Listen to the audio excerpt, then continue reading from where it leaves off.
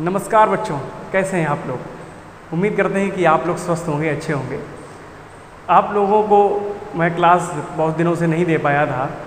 आज हम आपके सामने उपस्थित हुए हैं। तो इसका कुछ रीज़न रहा जब हम आप क्लास नहीं दे पाए। लेकिन बच्चों, जो आप देख रहे होंगे, पीछे कुछ डिस्प्ले पे चल रहा है। ये हमने आप लोगों के लिए डिजिटल बोर्ड लिया है, ताकि आप लोगों को क्लास अब और अच्छी दे पाएँ। हालाँकि समय तो लग ही गया। कहावत होती है कि देर आए, दुरुस्त आए। हालाँकि आप लोग देख पा रहे होंगे। ये क्लासेस को और हम अच्छा आधुनिकीकरण से जोड़ने के लिए आप लोगों के लिए बोर्ड लाए हैं। तो आप लोग उम्मीद करते हैं कि अब क्लासेस में और मज़ा आएगा। क्योंकि आप लोग पहले हम क्या होता है कि कोई चीज़ समझाते हैं और मैथमेटिक्स क्या होता है प्रैक्टिकल नहीं हो पाता है। तो इसमें अब हम प्रैक्टिकल करके भी दिखाएँगे। हाई स्कूल में इंपॉर्टेंट होता है, आपने सुना होगा, पहला चैप्टर है हाई स्कूल में वास्तविक संख्या उसमें एक चैप्टर है वास्तविक संख्या और उसमें एक टॉपिक है वो कहलाता है अंडर रूट तीन एक अपरमेय संख्या है? सिद्ध कीजिए अंडर रूट दो एक अपरमेय संख्या है? बहुत से बच्चों की मिथ्या रहती है कि सर, ये क्वेश्चन बहुत टफ है और पेपर में ये दो नंबर का या चार नंबर का पूछ लिया जाता है। लेकिन अब हम आप लोगों को बताएँगे कि ये इतना इजी मेथड में हम आपको समझाएँगे कि अंडर रूट दो अंडर रूट तीन अंडर रूट पाँच अपरमेय संख्या कैसे आती हैं, ये कैसे सिद्ध होता है? तो स्टूडेंट अब हम लोग चलते हैं, सिद्ध करेंगे कि अंडर रूट तीन एक अपरमेय संख्या है, कैसे प्रूव होता है? चलिए। तो बच्चों क्वेश्चन लिखा है, सिद्ध कीजिए कि अंडर रूट थ्री एक अपरमेय संख्या है। इंग्लिश में कहेंगे prove that under root three is a irrational number तो कैसे बच्चों प्रूव करते हैं? ये बहुत ही ध्यान देने योग्य बात है। कृपया आप कुछ चीज़ों को बहुत ही विशेष कर से आप लोग कंसंट्रेट अपने माइंड को करेंगे। बहुत सिंपल से वे में आपको बताएँगे। सबसे पहले होता क्या है? जब क्वेश्चन ये कहता है अपरमेय सिद्ध करना है। अच्छा बात करते हैं परमेय और अपरमेय की। तो ये आप लोगों को हाई स्कूल लेवल में पता ही होगा। परमेय संख्या क्या होती हैं?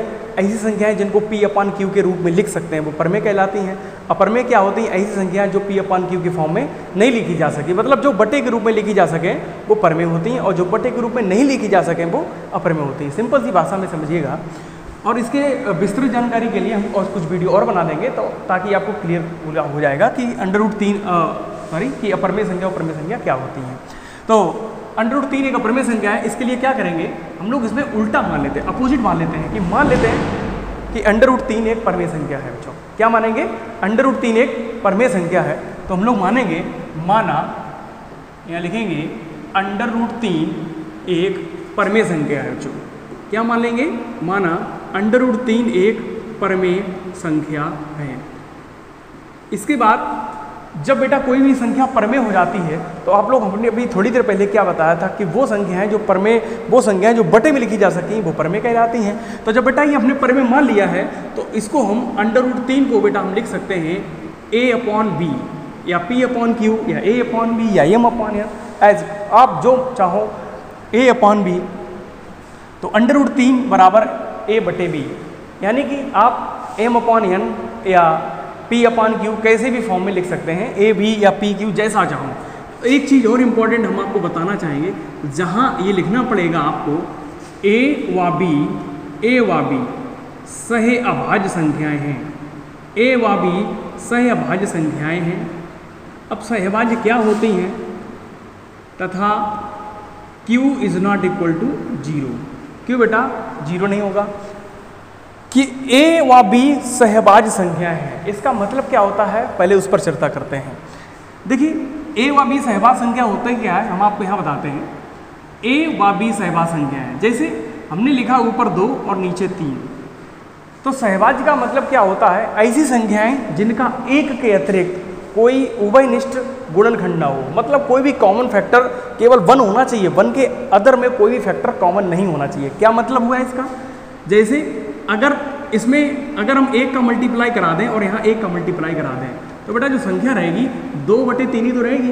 तो अगर पूछा जाए कि दो बटे तीन जो दो और तीन है, ये कैसी संख्या है? आप कहेंगे, सर साहिबाज्य क्यों? क्योंकि इनका एक के अतिरिक्त कोई भी उभयनिष्ठ गुणनखंड नहीं है।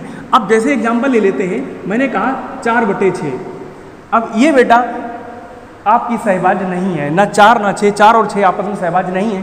क्यों नहीं है? क्योंकि जब चार के आप फैक्टर करेंगे तो फैक्टर क्या होंगे? दो गुणे दो और एक हम अपने आप से डाल दे रहे हैं। बटे छः के क्या हो जाएँगे? तीन गुणे दो गुणे एक हो जाएँगे। तो एक तो इनका फैक्टर रही, आप देख पा रहे होंगे। और इनका कॉमन फैक्टर क्या है? दो है। और अभी हमने क्या कहा था कि ऐसी संख्याएँ जिनका एक के अतिरिक्त कोई भी उभयनिष्ठ गुणनखंड ना हो। और बेटा, आप देख पा रहे होंगे, एक के अतिरिक्त उभयनिष्ठ गुणनखंड क्या है यहाँ? दो यहाँ भी है, दो यहाँ भी है। इसका मतलब ये संख्या सहभाज्य संख्याएँ नहीं है। जैसे हमने एक और एग्ज़ाम्पल समझिए यहाँ हमने ले लिया तीन और नीचे ले लिया हमने पंद्रह। अगर आप इसके फैक्टर करेंगे बेटा थ्री इंटू वन हो जाएगा और नीचे फैक्टर करेंगे तो three into five into one हो जाएगा। वन तो सबका फैक्टर होता ही होता है। वन तो सबका फैक्टर होता ही होता है। यहाँ आप देख पा रहे होंगे, तीन इसका भी फैक्टर है, तीन इसका भी फैक्टर है। इसका मतलब ये सहभाज संख्या नहीं है। और अब सहभाज होंगी क्या? दो बटे तीन, ये हमने जैसे लिखा।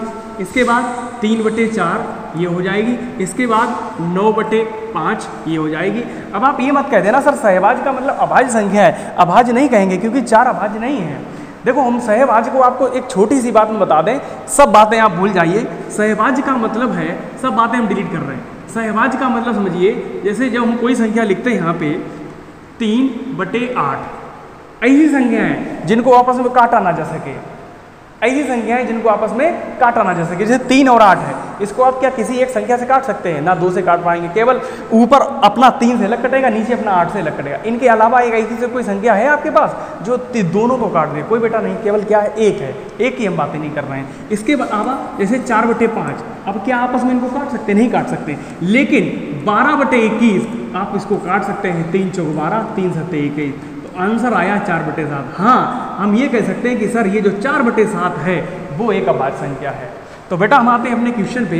तो जो हमने माना है कि जहाँ ए व बी सहबाज संख्या हैं, तथा यहाँ हम सॉरी यहाँ पे ए लिखेंगे क्यों नहीं लिखेंगे, क्योंकि नीचे हमने जो बी लिखा है तो यहाँ बी लिखेंगे। जहाँ B is not equal to zero मतलब जो हर होगा, वो ज़ीरो नहीं होगा। बेटा ज़ीरो क्यों नहीं होगा? इसका अर्थ जानते हैं। ज़ीरो इसलिए नहीं होगा, ऊपर चाहे कुछ भी हो, अगर नीचे ज़ीरो होता है तो इसका आंसर हम जानते हैं, अपरिभाषित कहलाता है। इसको अब अनंत भी बोला करते हैं क्लासेस में। और पाँच बटे अगर ज़ीरो है तो आंसर क्या आएगा? तो भी अपरिभाषित आएगा। ऊपर कुछ भी लिखा हो, अगर नीचे ज़ीरो लिखा है तो इसका मतलब आंसर इनफाइनाइट होगा क्लियर बात? लेकिन अगर ऊपर ज़ीरो है, नीचे एक लिखा है तो इसका आंसर आप जानते होंगे, ज़ीरो होता है। इस बात को आप लोग विशेष ध्यान रखें। इस बात की भी चर्चा हमने यहाँ पे कर ली है, क्योंकि बहुत से बच्चे यहाँ कन्फ्यूज़ रहते हैं। तो ए व बी सहबाज संख्याएँ हैं। हाँ तो बच्चों, अब हम क्या करेंगे? इसका क्रॉस मल्टीप्लाई कराएँगे। तो ये हो जाएगा three B square is equal to A square यहाँ से हम बी स्क्वायर की वैल्यू निकालेंगे, क्या आएगी? ए स्क्वायर अपॉन थ्री इसको हम थोड़ी देर के लिए समीकरण नंबर क्या डाल देंगे? एक डाल देंगे। ये पूरा थ्योरम है, इसको प्रूव करने का ये पूरा थ्योरम है, ऐसे ही आप लोगों को पेपर करना पड़ता है। तो अब क्या करेंगे? तो बी स्क्वायर बराबर आया है ए स्क्वायर बटे तीन, इसे हम डाल देंगे समीकरण नंबर एक। बेटे, अब एक मुझे बात आप लोग बताएँगे, ये बटे तीन का क्या मतलब है कि ये तीन जो है, तीन से ये संख्या विभाजित हो रही होगी। तो बटे का मतलब ये होता है, जैसे हमने लिखा है चार बटे दो। तो इसका मतलब क्या होगा कि दो जो है, चार को विभाजित करेगा तो इसका क्या मतलब हुआ कि हम यहाँ लिखेंगे कि ए स्क्वायर इसे लिखेंगे कि तीन ए स्क्वायर को विभाजित करेगा।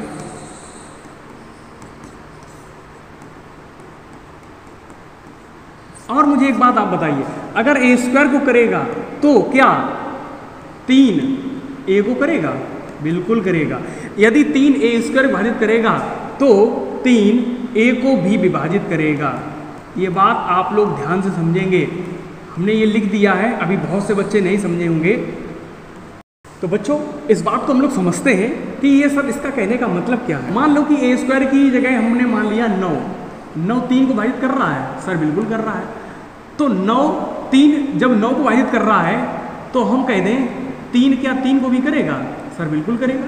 देखो मतलब तीन ए स्क्वायर को वाहित कर रहा है। अब आप देखें यहाँ हमने मान लिया ए स्क्वायर यहाँ हमने ए स्क्वायर की जगह नौ मान लिया और बटे में तीन जो लिखा वही लिखा। तो ए स्क्वायर को हमने नौ मान लिया थोड़ी देर के लिए। ए स्क्वायर को हमने क्या मान लिया बेटा नौ। तो ए की वैल्यू क्या आएगी? जब स्क्वायर हटाओगे, अंडर आएगा। अंडर नौ का मतलब तीन।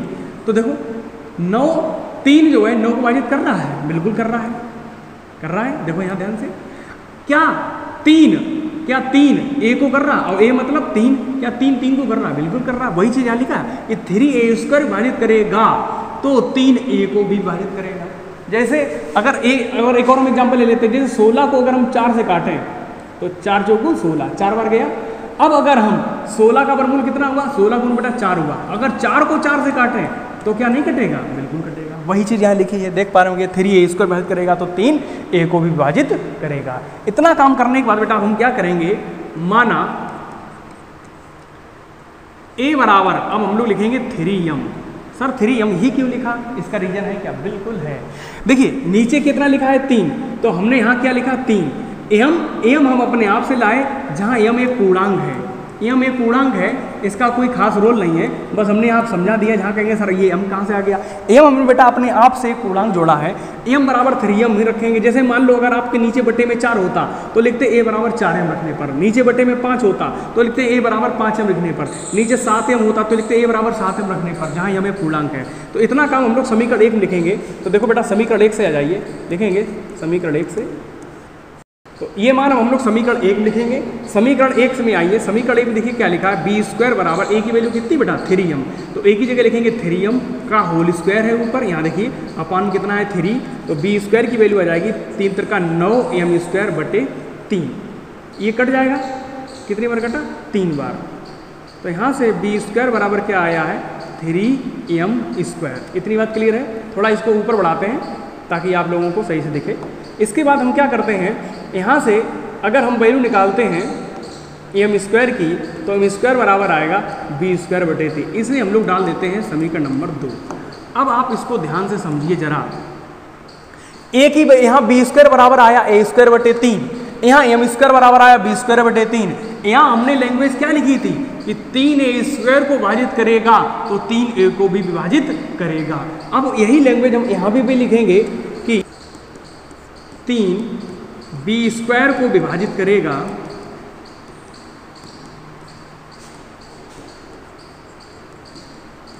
तो तीन बी को भी विभाजित करेगा।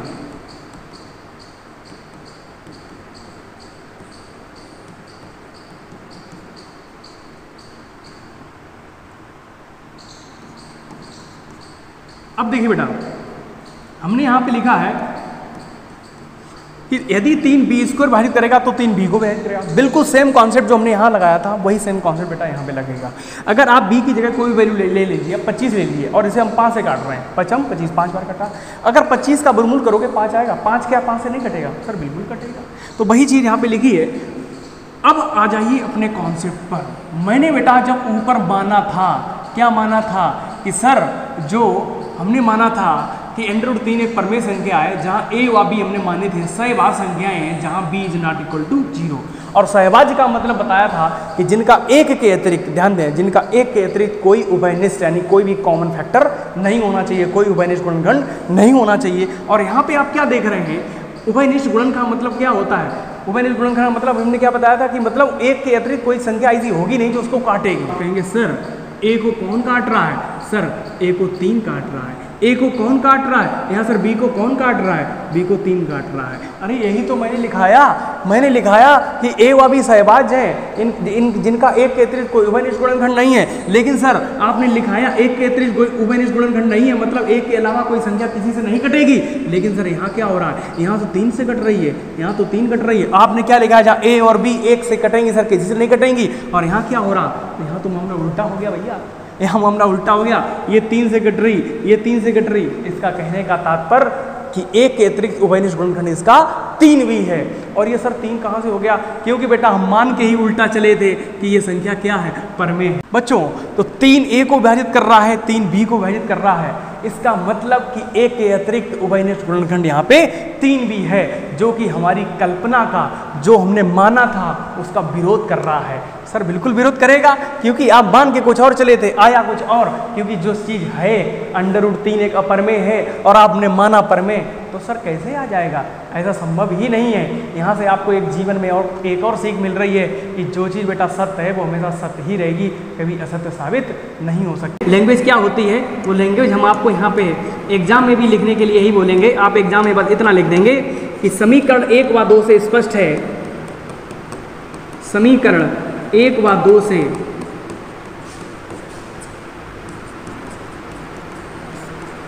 स्पष्ट है कि ए व बी का उभयनिष्ठ गुणनखंड उभयनिष्ठ गुणनखंड एक के अतिरिक्त, एक के अतिरिक्त तीन भी है। तीन भी है, जो कि हमारी कल्पना कल्पना का मतलब होता है विरोध। कल्पना का मतलब होता है जो हम लोग मान के चले थे, जो हमने माना था, जो कि हमारी कल्पना का क्या करता है बच्चा? विरोध करता है। विरोध का मतलब ये हमारी कल्पना को झूठा साबित कर रहा है। विरोध करता है। विरोध करता है। तो बच्चे यहाँ एक के अतिरिक्त तीन भी वेक्टर है। अतः इससे स्पष्ट है कि अंडर रूट तीन एक अपरमेय संख्या है। यही आप एग्ज़ाम में करके आएँगे, आपको पूरे पूरे दो नंबर मिलेंगे, क्योंकि यह पहले चार नंबर का था बिल्कुल। अब आपको दो ही नंबर का मिलेगा। हालाँकि ये सवाल बहुत ही पैटर्न में आ गए हैं। कुछ ये सवाल आता है कि दो प्लस अंडर रूट तीन एक अपरमेय संख्या है। चार माइनस अंडर रूट तीन एक अपरमेय संख्या है। तमाम सवाल हैं और वो इसी कॉन्सेप्ट पर होते हैं। ये हाई स्कूल के लिए बहुत इंपॉर्टेंट चैप्टर रही है। दो नंबर का सवाल हर साल पूछा जाता है। इसका आप स्क्रीन ले लीजिएगा, हम इसका साइड में हो जाते हैं।